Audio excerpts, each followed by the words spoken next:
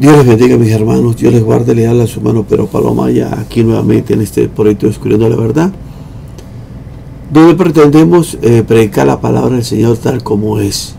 Hoy lo vamos a mirar eh, una experiencia que tuvo el profeta Elías en el libro de Primera Reyes, capítulo 19, verso 4, y lo vamos a completar con Primera de Pedro, eh, capítulo 5, verso 7.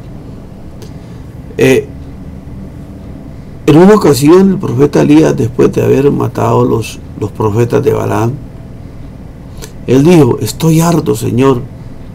Estaba protestando. Y le dijo, quítame la vida, pues no soy mejor que mis antepasados, gloria al nombre del Señor. Hermanos, hay dolores en el alma que nos llenan de sombras como si el mundo se nos acabara. Sentimos lo que sintió Elías, gloria al nombre del Señor.